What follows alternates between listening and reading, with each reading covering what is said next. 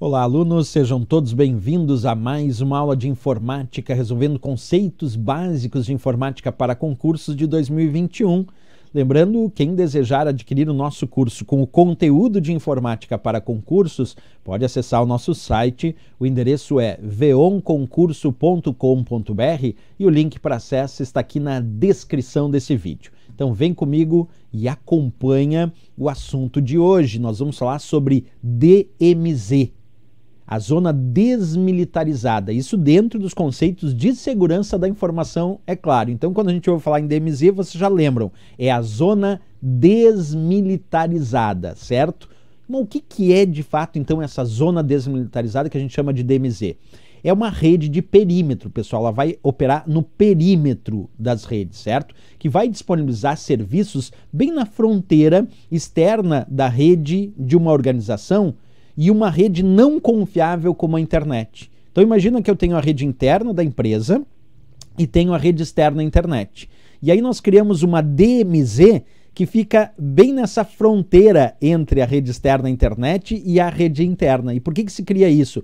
Para disponibilizar alguns serviços específicos para quem vem acessar a internet sem comprometer a segurança da rede interna. Então, a função de uma DMZ é justamente manter o, todos os serviços que possuem acesso externo separados da rede local daquela empresa, aumentando então o nível de segurança para essa rede local. Então, o desenho e a implementação de uma DMZ vão estar ligados intimamente à utilização de sistemas firewall, porque para criar uma DMZ eu vou precisar implementar mais de um sistema firewall. Então, essa implementação padrão de DMZ vai utilizar normalmente dois ou mais sistemas firewall um que vai separar a rede WAN, que é a rede de longa distância, por exemplo, a internet, da DMZ, e outro que vai separar a DMZ da rede interna. Por isso que nós precisamos, no mínimo dois, mas o ideal, muitas vezes é até mais, mas no mínimo dois sistemas firewall para criar uma rede,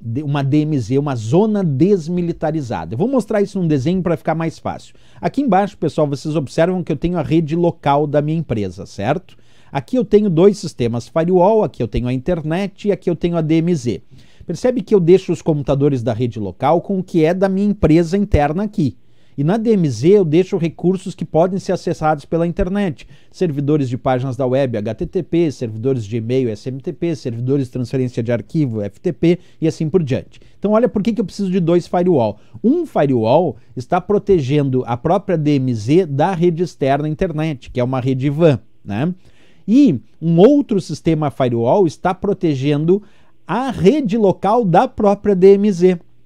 Então percebe como assim eu aumento muito a segurança da minha rede local, porque se eu colocasse a rede local junto com os computadores, junto com os servidores HTTP, SMTP, FTP e permitisse o acesso da internet, bastaria burlar um sistema firewall que a pessoa já conseguiria entrar aqui na rede local. Como eu tenho a ideia de uma DMZ, o que, que eu faço? Para acessar a rede local, precisaria burlar o primeiro firewall e depois ainda conseguir burlar o segundo firewall o que torna muito mais complicado a vida de quem está tentando invadir esta rede local. Então é essa a ideia de uma DMZ, criar uma zona desmilitarizada no perímetro, na fronteira entre a rede externa internet e a rede local, aumentando o nível de segurança da rede local, porque aquilo que pode ser acessado pela internet se deixa na DMZ, como a gente viu aí nessa imagem, certo? Caso um determinado invasor então consiga ter acesso à DMZ por conta de alguma vulnerabilidade, de algum serviço, ele normalmente vai permanecer sem acesso à rede interna, uma vez que o firewall pode estar configurado para proteger a própria rede interna, que é o segundo firewall, então dificulta a vida de um invasor. Né? Uma DMZ ela vai separar os serviços e os usuários da rede interna de um possível ataque vindo da rede insegura como a internet. Como a gente mostrou lá naquela ilustração que vocês acabaram de ver, estão revendo aí. Beleza, pessoal, vamos resolver questões de provas de concurso então sobre DMZ. Acompanhe a leitura. É uma pequena rede situada entre uma rede confiável e uma não confiável, ou seja, mantém a rede local separada de todos os serviços que possuem acesso externo. Como acabamos de ver, o nome disso é DMZ, a zona desmilitarizada, como descrito ali na letra B de Brasil, que é o gabarito e a resposta dessa questão. Vamos para mais uma questão, acompanha comigo a próxima. Diz assim: no ambiente de rede da empresa, é uma região que pode ser acessada tanto por uma rede interna quanto pela rede pública internet, e que servidores nela presentes não podem acessar os computadores internos da empresa por questões de segurança. Trata-se de DMZ de novo, letra B de Brasil, como a gente acabou de descrever. A DMZ que fica entre a rede externa internet e a rede local da empresa.